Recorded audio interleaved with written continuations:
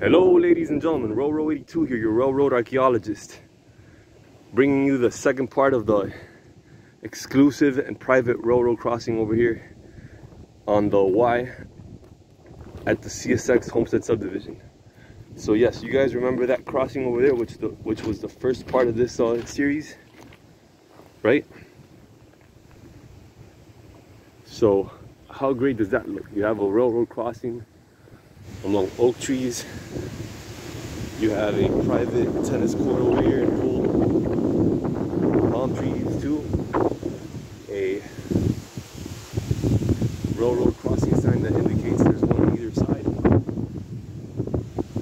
And this is the subject at hand today. So here you see we got two crossing gates, two pair of signals on either side. There you have your relay case which has power to it. You can see the light on the top right hand corner. Boom. And some vandal, some delinquent tagged this emergency contact info over here.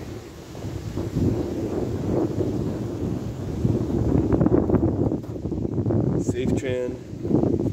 SafeTran. I always get a kick out of vandals, and I mean that sarcastically because I'm sure that they don't uh, they don't do this in their own living room. I'd love to go to, to, their living room and do graffiti graffiti all over there. Oh my God, how symbolic! Look at that vulture. I don't know if you guys saw that vulture right there. He probably knows that that line is dead. That's why he's here. So yeah, here you have your gated community with equipped with cameras. It's funny. I'm filming them and they're filming me. We're gonna film each other. Waka Waka. And then Venetia Lakes, a private community. Oh my God, I'm in the presence of greatness over here. Venetia Lakes. Got it. And then you got your hours of operation over here.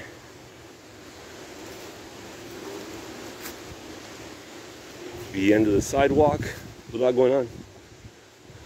Gates.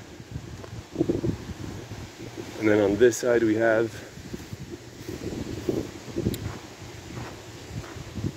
same set SafeTran signal base, SafeTran gate mechanism, emergency contact info, and SafeTran signals up ahead. So yes, this is uh, the setup over here. And these trains come back from the rock quarry, so that's why you see all this, uh, these little pebbles on the line next to the ballast. There you have your relay case.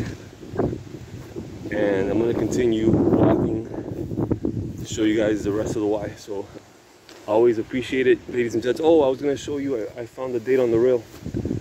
Um, here you have 1999, one 999 and then month number four so April 1999 as you remember the, the date on the rail over there and the inactive part was 1926 so all right ladies and gents please leave me a comment thumbs up it helps me in the YouTube algorithm always a pleasure. Take care bye bye